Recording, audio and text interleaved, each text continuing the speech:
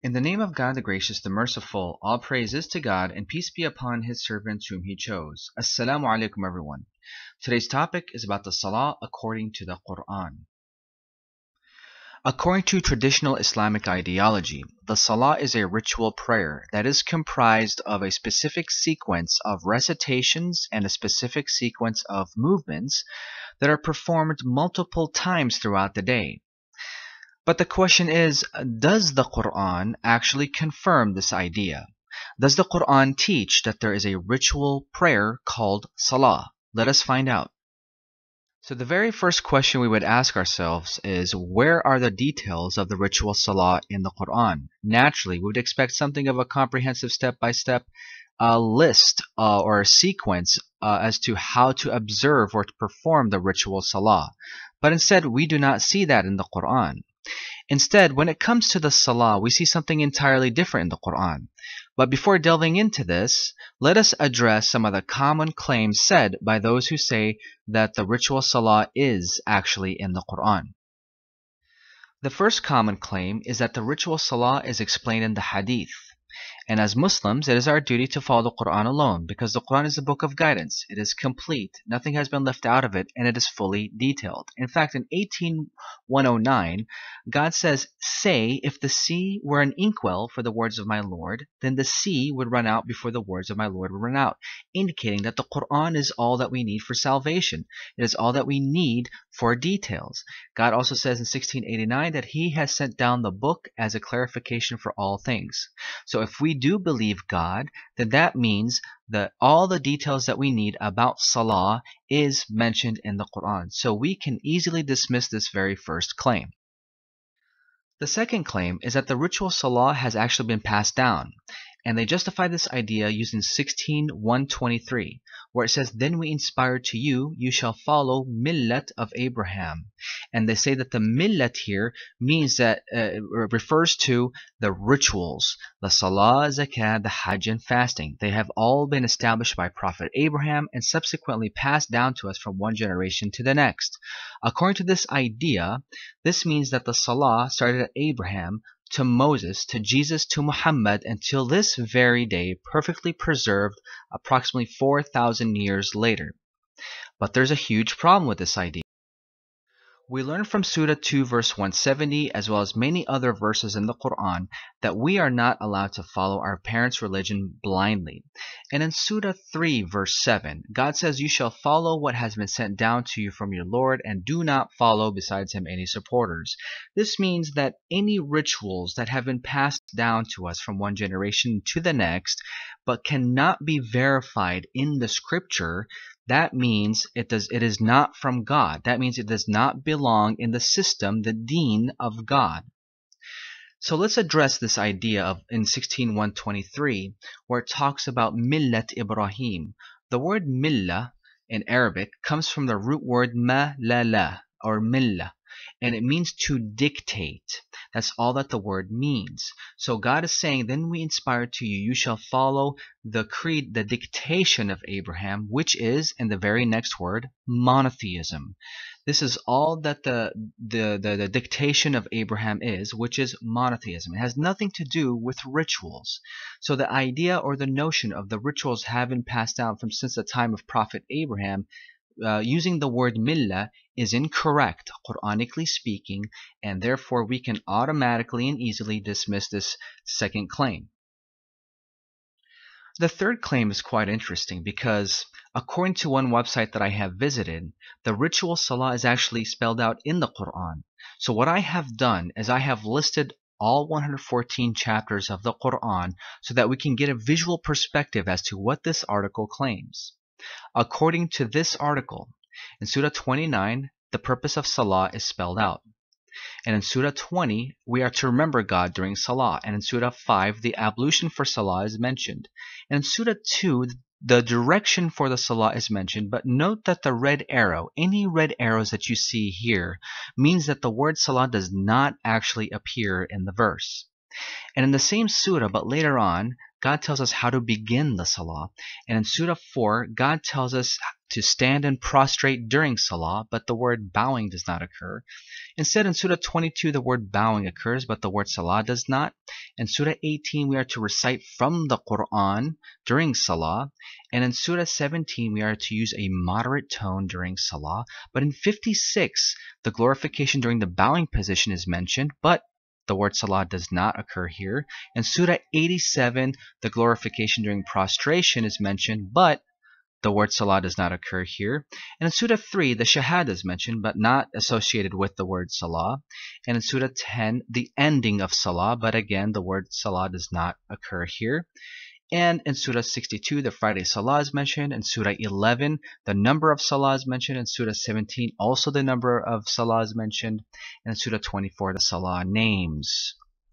This is according to one website that I have that says that the ritual salah is actually mentioned in the Quran. I hope you see what the problem is here. The problem is God is giving us a jumbled mess as far as our ritual salah is concerned. Let me ask here, if the ritual salah is such an important topic, why is God giving it to us in such a jumbled mess where we have to kind of puzzle piece everything together to try to figure out what the ritual salah is. My conclusion to this is that the only way anyone could observe a ritual salah such as the one that you see here in the top right corner is through a confirmation bias. There is no other way anyone could gather a ritual salah from this. If you had no idea what a, what the salah was and you opened the Quran, there's no way you can gather from the verses, these jumbled messed verses, uh, a ritual in any way, shape, or form. So to me, this common claim can also be dismissed. So now that we have addressed the common claims of the ritual salah in the Quran, let's delve into this topic. But before doing so, let me remind everyone, including myself, of Surah 7 verse 204, where God says, وَإِذَا قُرِئَ الْقُرْآنُ فَاسْتَمِعُوا لَهُ وَأَنصِتُوا لَعَلَّكُمْ تُرْحَمُونَ And if the Quran is being read, then listen to it and be silent that you may receive mercy. God says, Ansitu, be silent, referring to your internal dialogue, all your preconceived notions, everything, all your judgments inside of your mind needs to be silenced. In other words, remove your preconceived notions of what you understand about Salah as if you are listening to it for the very first time. This is the way we can receive the mercy, God willing. So let's start by first defining the word salah. It comes from the root word sad lam wow and it means following closely. In the Arabic language during a horse race, the first horse is called sabiq or the leader, whereas the second horse is called al-musalli because it is following closely to the first horse. This definition is actually confirmed in Surah 75 verse 31 where it says فَلَا صَدَّقَ وَلَا صَلَّى وَلَكِنْ كَذَّبَ وَتَوَلَّى For he did not speak the truth nor salla, but instead he lied and turned away. We see that the opposite of truth is lying, whereas the opposite of salla is to turn away.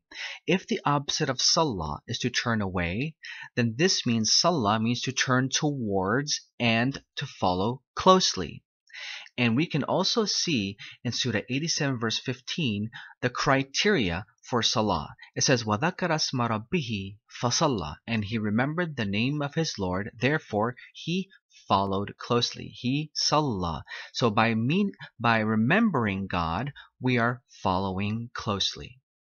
So now that we understand what salah or salah means, following closely, let's look in the Quran as to what is a person what does it mean for a person to observe salah.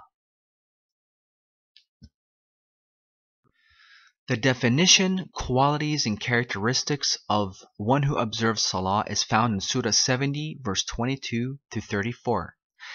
And God begins the passage by saying, except for those who follow closely. Al Musallin. This means that whatever is going to precede this verse is going to be the qualities and characteristics of one who observes the Salah. God then says, those are the ones who are constant in their following closely.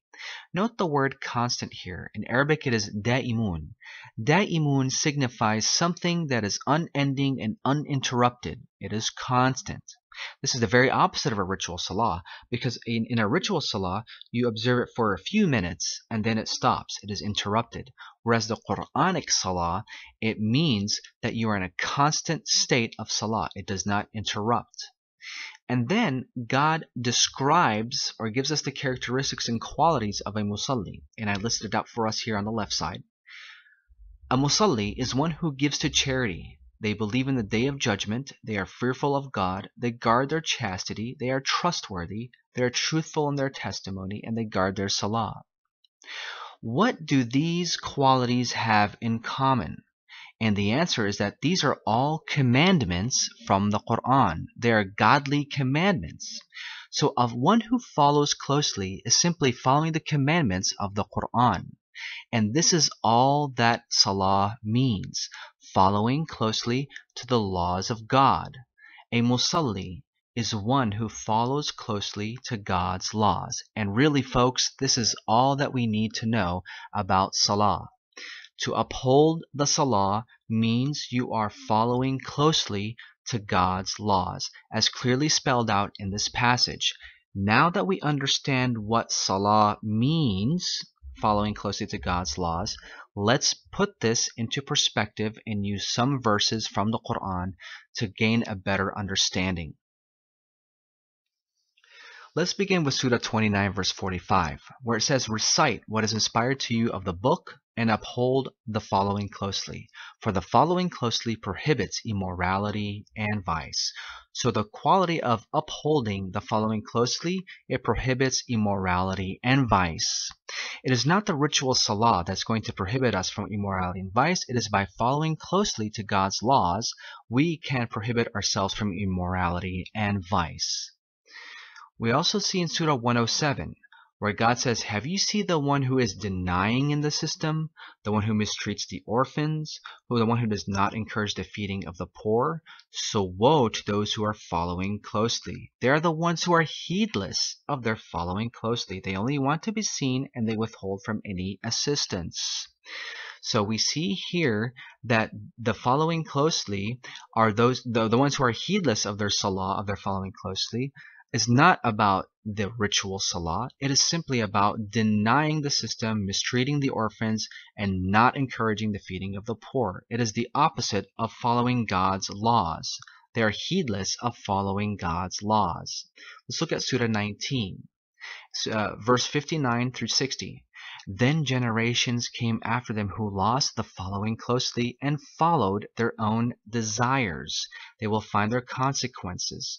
So, it's not that they lost the ritual salah, they have lost the following closely to God's laws. They they they forgot about God's laws, they left it alone and instead followed their own desires. And then in the next verse God says except for those who whoever repents and believes and does good works. So the criteria of following God's laws closely is for those who whoever repent and believe and does good works. Let's try another set of verses. Surah 2, verse 44 through 45. Do you order the people to do good but forget yourselves while you are reciting the book and seek help through patience and the following closely? Here, God is simply telling the people, do you, for, do you order the people to do good, but forget yourselves while you are reciting the book? You are reciting the laws and seek help through the patience and following closely to God's laws. Surah 4 verse 77. Did you not see the, those who were told, seize your hands and uphold the following closely? But when fighting was decreed for them, a group of them were concerned towards the people as they would have been concerned towards God, or even more so. And they said, Our Lord, why did you decree for us fighting? Again, we see key words here, to decree. So God commanded them to do certain things, but they uh, they were and they were uh, told to uphold the salah, uphold following closely to whatever has been decreed for them. And then we see in Surah Surah 11 verse 84 through 87, it talks about Shu'aib. Shu'aib says, My people serve God, you have no other God beside him, do not give short in the measure and the weight, and my people give full in the measure and the weight equitably, and do not hold back from the people what, uh, what is theirs, and do not roam the land corrupting. They said, O Shu'aib, does your following closely order you that we leave what our fathers served and what, uh, or that we do not do with our money as we please. So Shu'aib gave them commandments, divine commandments, and then the people responded and says, Does your salatuka, does your following closely order you that we leave? It's not talking about a ritual salat, it is simply talking about divine laws that he was adhering to. And the last set of verses 42:38 And those who have responded to their Lord and they uphold the following closely, and their affairs are conducted by mutual consultation among themselves, and from our provisions to them they give. It is very apparent here that those who have responded to their Lord and they uphold the following closely, they uphold by following closely to God's laws. 591 The devil wants to cause strife between you and to repel you away from remembering God and from following closely to the God's laws. Again, these verses are not talking about some rituals. They are talking about following closely to God's laws. Surah 9 verse 5. So when the restricted months have passed, then you may kill the polytheists wherever you find them. If they repent and they uphold the following closely, and they contribute towards the betterment, then you shall leave them alone. This verse is not referring to the polytheists observing the ritual salat. It is simply referring to the polytheists observing, respecting, following what has been decreed or laid out in the Quran. So again, folks, we, we have just seen nine verses from the Quran and how the word salah is being used with the understanding that salah means following God's laws closely. It does not refer to rituals.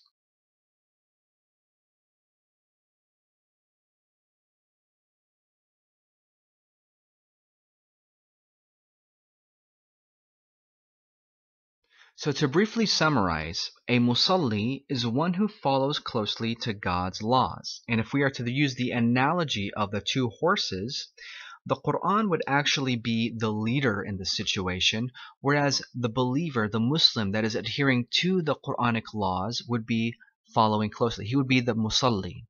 This means that as long as this believer is not violating the Quranic commandments, he or she is following closely to the Quran. He or she is a musalli. Now, of course, we're going to have other questions about other verses because the word salah has been used in a particular manner. Let's address them. There are two verses in the Quran that command the believer to uphold the salah at specific times of the day. These are 11.114 and 1778. Interestingly, both of these verses begin with the word aqim in the singular form, meaning that it is addressing the messenger initially. So the question is, why was is God telling the messenger to uphold the salah at these specific times? We know from the Quran that the duty of the messenger is to deliver the message to the people and this was done at these mentioned specific times. According to the Quran, these were called salah as well, but for the sake of this video, for the sake of clarity, I'm going to call them salah sessions. So, according to the Quran, salah sessions is when the messenger would, would meet with the people at these specific times so that he can recite the Quran onto them and thus they have the opportunity to follow God's laws closely. This is why it was called Salah. Now, the evidence for uh, this type of Salah, these Salah sessions, are actually found within the verses themselves, within the context of each of these verses. So let's talk about both of these verses, as well additional few, a uh, couple additional uh, verses that also talk about Salah sessions. Let's address verse uh, Surah 11, verse 114, taking it into context, starting at verse 110 where it says, And we gave Moses the book. God is talking about the book of Moses, how they disputed in it, and had it not been for a word which was already given by your Lord, their, their case would have been judged immediately. They are in grave doubt concerning it. They are talking about the Quran, how the people are doubting the revelation of the Quran. Then God tells the messenger, So stand firm as you were commanded, and those who have repented with you, and do not transgress. He is seer over what you do, and uphold the Salah, uphold the following closely at both ends of the day in nearness from the night. The good deeds take away the bad deeds. This as a reminder for those who remember. So based on the context, there was the duty of the messenger to deliver the message to the people, and God was telling to stand firm even though they are they have doubts concerning the Quran, he is to stand firm with the commandments and still deliver that message at these specific mentioned times. The same principle applies to Surah 17 verse 78 in context starting from verse 73. And they nearly diverted you from what we inspired to you so that you would fabricate something different against us and then they would have taken you as a friend. Note how the passage is talking about the revelation of the Quran. The next verse, and if we had not made you stand firm, you were about to lean towards them a little bit. Uphold the following closely at the declining of the sun to the darkness of night and Quran at dawn. The Quran at dawn is witnessed. And we send down from the Quran what is a healing and mercy to the believers. Note how it is all revolving around the idea or the notion of the Quran being revealed. So God is telling the messenger, uphold these Salah sessions at these specific times despite what people are trying to do uh, to you and uh, trying to divert you from what was inspired to you. In the same surah, towards the end, we see the same thing being talked about, about the Salah sessions, starting from verse 105. And it is with the truth that we have sent it down, and with the truth it came down. And we have not sent you except as a bearer of good news and a warner, and a Quran that we have separated so that you may read it to the people over time, and we have brought it down gradually. See how it's talking about the revelation, how it's being brought down? And then Say, believe in it or do not believe in it. Those who have been given the knowledge before it, when it is recited to them, they fall to their chins in humility. Say, call on God or call on the Almighty, by whichever call on to Him are the best names. And do not be too loud in your salatika, nor too quiet, but seek a path in between. So the salatuka or salatika here, you're following closely, is in regards to the salah sessions.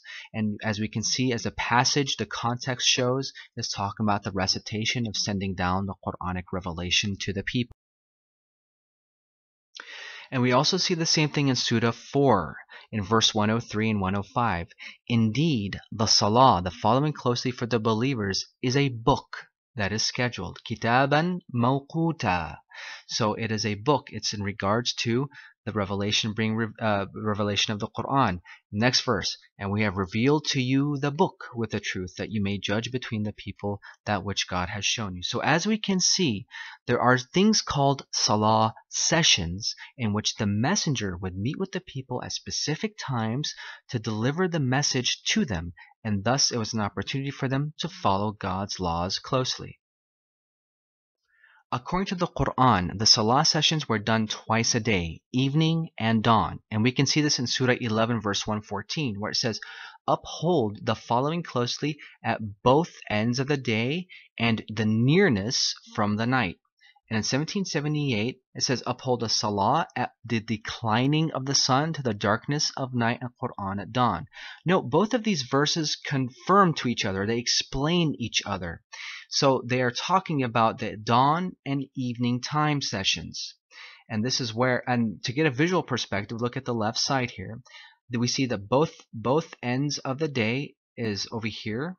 And then the nearness from the night. The nearness from the night are the dawn and the evening. in 1778, we see the declining of the sun until the darkness of night, the evening time, and Quran at dawn. So these are two sessions that were that were done during the daytime, the evening and dawn. And this is confirmed in 2458 where God specifically mentions the names of these salah as Salatul Fajr which is dawn and Salatul Isha which is evening.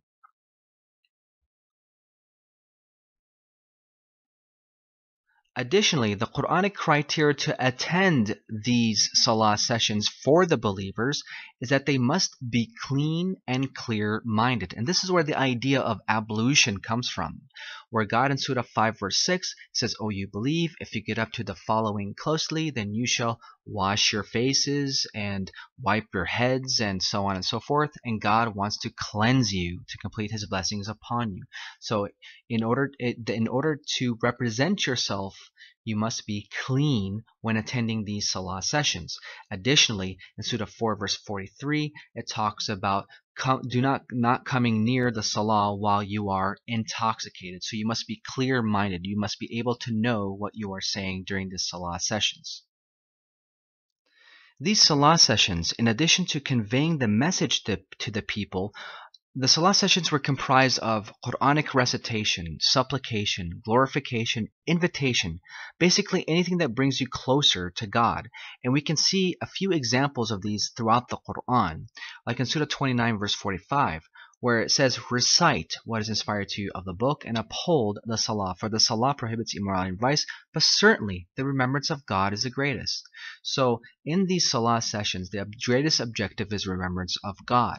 In Surah 3 verse 38 through 39, we see Zechariah imploring his Lord while he was observing the salah, the salah sessions, meaning that he was imploring God uh, some form of supplication uh, during the Salah sessions.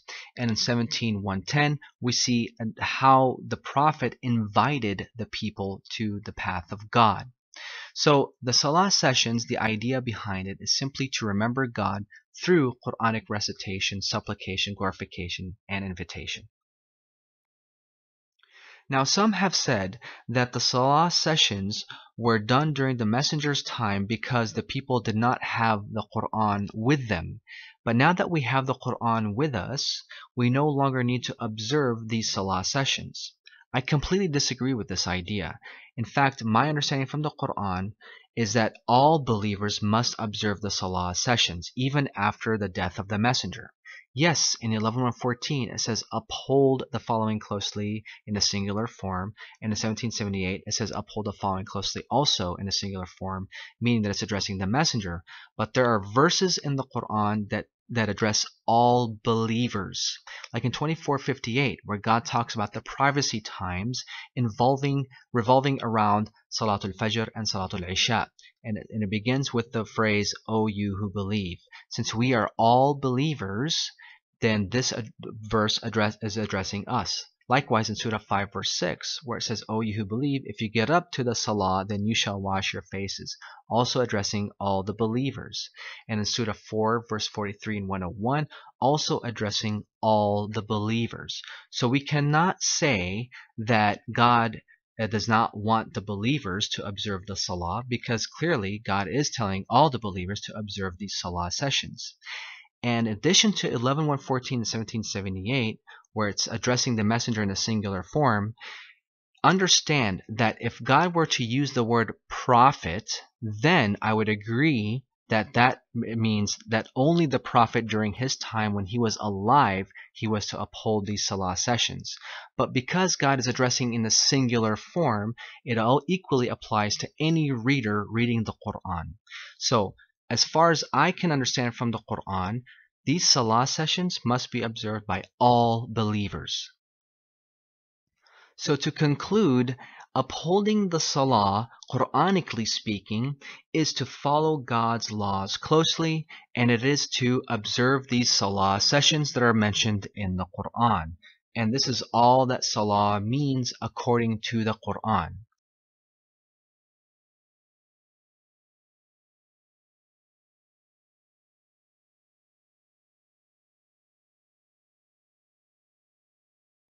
Another thing that is noteworthy to mention is that the word salah in the Quran is actually a general term because there are different types of salah. What we have seen so far is the salah from human to God, and we can see this for example in Surah 87 verse 15 where it says, And he remembered the name of his Lord, and thus he followed closely. So this is a salah that's from human to God. Additionally, like in Surah 9 verse 5, where it talks about the polytheists upholding the salah. And this does not mean that they are to observe a ritual prayer or to become Muslims, but simply based on the context, it indicates that the polytheists who were violating the peace treaty, they were supposed to to uphold the salah in the sense of abiding by the laws or the rules that are laid out in the Quran. Another type of salah is the salah that's from God to the human being. And we can see this in Surah 33 verse 56 where it says, Inna Allah wa malaikatahu yusalluna ala nabi. God and his angels follow closely onto the Prophet. And all that this means, it indicates that God and the angels are supporting the Prophet. And the third type of salah is from the human to human. And we can see this in the second part of the phrase where it says, Ya ayyuhalladhina amanu sallu alayhi wa sallimu taslima. O you who believe, you shall follow closely onto him, indicating that there is a salah between the human beings. All these indicate that there is a support, some type of support that is from God to the human as well as from human to human. So what all of this indicates is that the word salah is actually an umbrella term, meaning that based on the context that we are reading, the different types of salah can be applied. And we can see this in Surah 2 verse 238, where God says, Hafidhu ala as-salawat, guard the following closely. Salawat in the plural form. Salawat here is plural, meaning three or more. And then God says, was salatul wusta wa qumu lillahi qanitin, and the following closely. Salah in the singular form, that is the most balanced.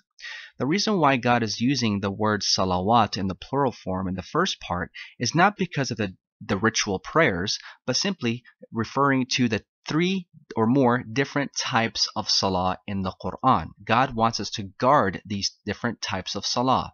And then he wants us to be balanced with these salahs. The word wusta in Arabic means balanced. Some have said it means the middle, which is which is also applicable. However, wusta in the Quran indicates something that is fair, balanced, or just, like in Surah 5 verse 89 and 68:28. So now I'd like to talk about the, the notion of the three different movements that we are supposed to do in the salah, standing, bowing, prostration, or qawama, raka'a, sajada. As noted earlier, there is no instruction on how to observe a ritual salah in the Quran. The words qawama, raka'a, sajada are never found together with the term salah, and all three of these terms are scattered throughout the Quran. So in other words, we do not find any form of instruction or methodology on how to observe the ritual prayer that we know of today. Instead, we do see these three terms scattered throughout the Quran, but not in a coherent fashion in the sense of a ritual. So let's address each of these terms so that we can get clarity as to what is God talking about in regards to these terms. So let's begin with the root word qawama, where words like aqim comes from. Qawama, based on the root definition, means to set something aright and maintaining it. There is no doubt that in the Arabic language, qawama can mean to stand up, like in Surah 3 verse 191, but it could also mean to set something aright like a wall, like in 1877. And it could also signify keeping after someone or something, like in 375. But when it comes to the salah, Aqimu as-salah simply means to uphold the salah. We are setting the salah aright and maintaining it.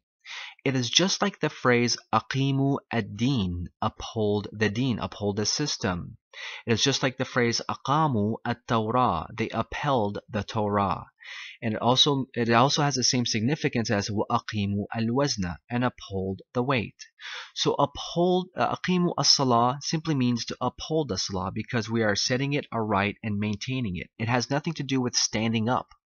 So when we look at this and reflect on Surah 3 verse 38 through 39, people, a lot of people are using this uh, passage to say, see, Zechariah was actually standing up during his salah. It's possible that he was standing up, but it could also mean that he was simply upholding the prayer that is mentioned here.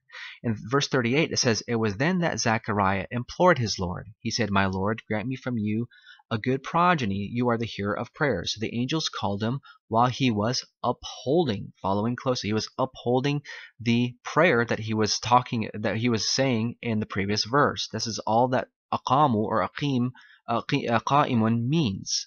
So upholding aqim simply means to uphold something.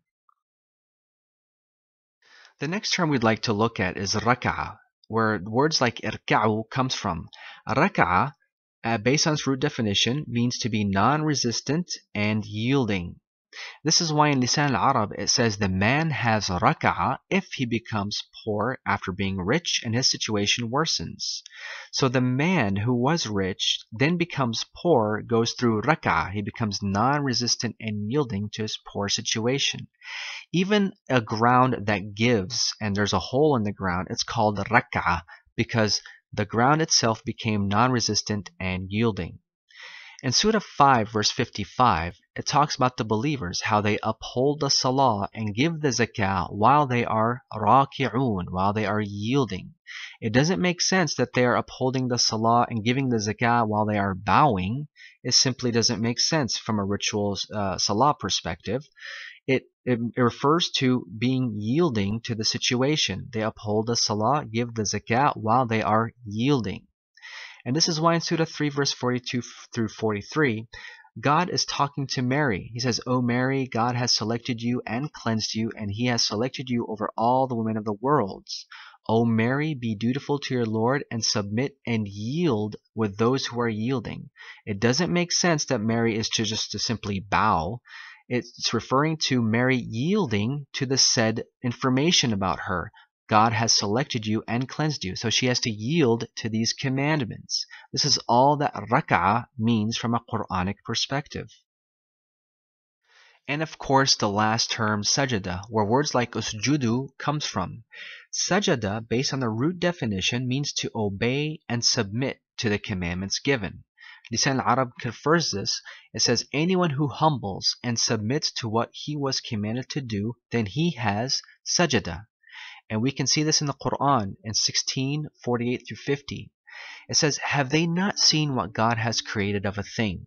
Its shadows incline to the right and left in submission to God, and they are humbled. So God talks about how the shadow submits or, or does sujud to God. And then it says, And to God Yesjudu submits all those in the heavens and all those on earth, from the creatures and the angels, and they are not arrogant. They fear their Lord from above them, and they do what they are commanded to do. So, based on the pas- this passage, sujud simply means obeying what you are commanded to do. That is all that sujud means. And we can put this into perspective, like in 96:19, it says, No, do not obey him, submit and come near. In Surah 7, verse 161 through 162, it says, Reside in this town and eat from it as you please, and enter the gate submitting, sujadan. It, it does not mean in prostration, it simply means in submission. In 2564, those who dwell for their Lord in submission, so sujadan, and staying up in 84 21 through 22 and when the Quran is read over them they do not submit yasjudun. One can if they want to put prostration here but there is no significance to prostrating here. Instead it is the submission that signifies you obeying the commandments given Another key point to keep in mind is that sujud in the Quran cannot refer to physical prostration if we read these verses carefully. Like in 234, it says, Submit to Adam, usjudu li Adam. It doesn't say submit towards Adam or usjudu ila Adam. If God was referring to a physical prostration, he would have said usjudu ila Adam. Ila means towards Adam. But it says submit to Adam, li Adam. The same applies in 726. And to him they submit. Walahu yasjudun. Yasjuduna lishams, submitting to the sun, not towards the sun. I saw them submitting to me. Ra'aytuhum li sajidin. Will they not submit to God? Allah yasjudu lillah. So it's not towards God, it's to God. So the idea of sujud having anything to do with prostration that has holds no water in the Quran. Instead, sujud in the Quran simply means to submit to the commandments as given in Surah 16, verse 48 through 50. So now that we understand what salah is from the Quran, as well as what rak'ah, sajada, and qawama mean, let's begin addressing the often quoted verses where the word salah is used, as well as qawama, rak'ah, or sajada. Let's begin with Surah 2, verse 124 and 125, where it talks about Abraham and how he was tested by words from his Lord, and he fulfilled them. He said, I will make you a leader for the people. So God wanted to, wanted to make Abraham an exemplary leader for the people. And then Abraham said, uh, and also for my progeny, said, my, my pleasure will not encompass the wicked. And we have made the sanctuary to be a return refuge for the people. So Abraham was to build this sanctuary as a safe refuge for the people. And then it says, And you shall take from the status of Abraham a place for following closely. Note here the word maqam in Arabic.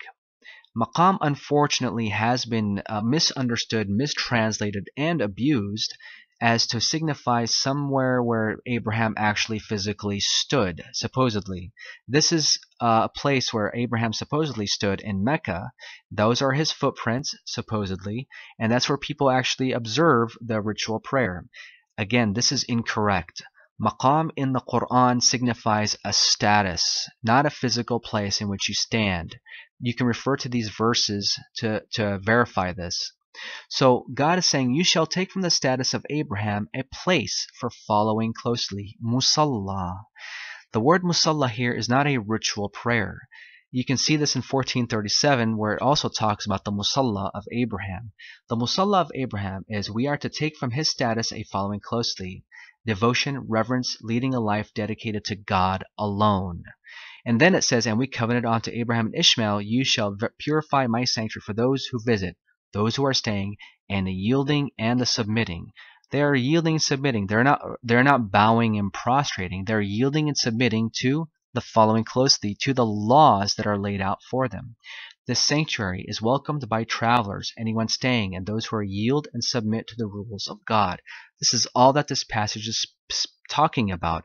It's not talking about some ritual prayer uh, where you're supposed to try to uh, uh, bow and prostrate to where Abraham once stood, it doesn't make sense from the Quran. It's simply talking about the sanctuary that Abraham built, and it's devoted to God alone, and it is for those who yield and submit to the rules of God.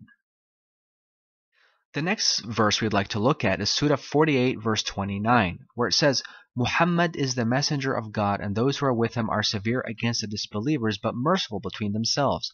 You see them yielding, submitting, they seek the blessings and approval of God. Let me ask here, is bowing and prostrating going to give you going to be a benefit to seek the blessings and approval of God? The answer is no. It is by yielding and submitting to his rules that brings us the, the blessings and approval of God. Additionally, it says their distinction is in their faces as a result of submitting. And unfortunately, this phrase has been misused where people would actually bang their heads on the floor to try to get this distinction on their faces. This is not what God is saying. It says in their faces, not on their faces. So the distinction is in their faces, not on their faces, signifies that they are submitting to the rules of God. The result of sujud creates awe, reverence, and absolute submission in the face of the believers. This is all that the verse is the next verse is Surah 2, verse 238, where God says, Guard the following closely, salawat, and the following closely that is the most balanced, and maintain dutiful to God. We see here in the first part of the phrase, God says salawat in the plural form. And people say, oh, this is referring to the ritual prayers. This is incorrect. If we just simply read the passage in context, we see that in the previous passage, God is speaking of family, marriage, and divorce laws. And all that the salawat is referring to is that we are to follow these different types of rules laid out in that passage. Then God says, and the following closely that is the most balanced, as-salatul wusta. The most balanced is to be fair, just, and equitable in the laws that are mentioned in this passage. That is all that this verse is mentioning. It's not referring to the ritual prayers or, or anything of that sort. It, it just seems very random for it to actually be speaking about it when it's in the midst of uh, family, marriage, and divorce laws. Instead, the Salah here is referring to following closely to the laws laid out for them. The next verse I would like to talk about is Surah 4, verse 102, where this is actually one of the most commonly quoted verses to justify the idea of a ritual salah. But if we read this verse very carefully, we will see that it defies the typical ritual salah that we know of today. Let's assume that the sajadu here is referring to prostration, and let's follow what it says exactly. In verse 102, it says, And if you are with them, the you here is singular, are with them, and you, still singular, uphold the salah for them. Then let a group from among them stand with you, and let them bring their weapons. So put this into perspective. We have the leader of the group, and there is a group behind him bringing their weapons. Let a group from among them stand with you, and let them bring their weapons. And when they have sajadu, they have sajadu. It doesn't say when you all have done prostration It means when they have sajadu, they have done the prostration excluding the leader. And let them be behind you. The you here is plural. What happened? There's just the sudden shift of uh, the you from singular to you to plural. And when they have sajadu, they have prostrated, not including the messenger or the leader of the group. So the whole this defies the typical ritual salah. It does not include the leader of the group. This is if we follow the actual wording of this verse. Instead, let me show you what I understand from this verse. So as noted earlier, this passage is talking about war. And more specifically, it's talking about how to uphold the salah sessions during war. The word sajadu does not mean prostration, it means to submit to the rules given during the salah sessions. And it says let them be behind you. The arabic word behind you is wara'akum. And it means to be in a situation or position uh, where the other person cannot see you. Here I rendered it as covering you, and we can see an example of this in, in these verses. So let's put this into perspective again. And if you are with them and you uphold the salah for them, then let a group from among them stand with you and let them bring their weapons. So we have a group of soldiers here. And we have the leader in the center, for example, a group from among them will come to him with their weapons, hear the words of God, they will submit to them, then they will leave, and another group will come and listen and hear the words of God. When they have sajadu submitted to the rules, then let them be behind you. Go back into the positions where they are covering the other persons. This is all that this verse is referring to. It's not talking about how to observe the ritual salah. It is talking about how, how to uphold the salah sessions during war. So the salah sessions during war are done in a simple rotational manner. One group will come, listen to the message of God, submit, leave, and another group will come instead of them and do the same thing. And this is why in the next verse it says in 103, Then if you are secure, then uphold the salah. Indeed, the, the salah for the believers is a book that is scheduled. So the salah sessions equals specific gatherings to listen and heed the messages of God. And if you read beyond this passage, 105 to 113, we will see this. And of course, last but not least is Surah 17, verse 107 where it says, Those who have been given the knowledge before it, when it is recited to them, they fall to their chins, submitting, sujadan. Note that in this phrase the word salah does not occur, so we can no way justify the idea or the notion that we are supposed to fall to our chins during salah. Additionally, look at this phrase, they fall to their chins submitting. In Arabic it says يَخِرُّونَ لِلْأَذْقَانِ سُجَّدًا. I have a few observations for this phrase. It says they fall to their chins, not they fall onto their chins. And it also says they fall to their chins, not they fall prostrating to their chins. And if sujud here is referring to physical prostration, then it would be redundant to say fall and prostrate in the same phrase. It would be redundant to say that because the prostration itself is the falling. God, it would have sufficed to say if, for example, it would have said they fall to their chins, that would have been enough. or they fall, they, they prostrate to their chins would have also been suffice. But instead, God says they fall to their chins submitting, sujadan. The word sujadan, if we pay attention in the next, uh, in, the, in, in 109, it says, and they fall to their chins, again using the same expression, crying, and increases them in humility. So the part of the sujud here is that they fall to their chins crying and it increases them in humility. The sujud increases them in humility by submitting to what has being said or what is being recited onto them, they, it increases their humility. So this passage has nothing to do with physical prostration, but simple submitting to the rules of God. So to sum up everything that we have learned, the idea or the notion of a salah being a ritual prayer cannot be found in the Quran. Instead, what we have learned is that the word salah means following closely. And according to the Quran, the Salah is following God's laws closely, as well as upholding the Salah sessions as ordained in the Quran. We also learned that the word rak'ah means yielding to the rules of God, and sajda means submitting to the rules of God. And this is all that Salah means based on my research from the Quran and based on my understanding. It is also, in my personal opinion, that if a person chooses to do physical movements, then that is entirely up to them as a personal preference. But as far as the Quran is concerned, these physical movements have nothing to do with salah. Assalamu alaikum and inshallah see you next video.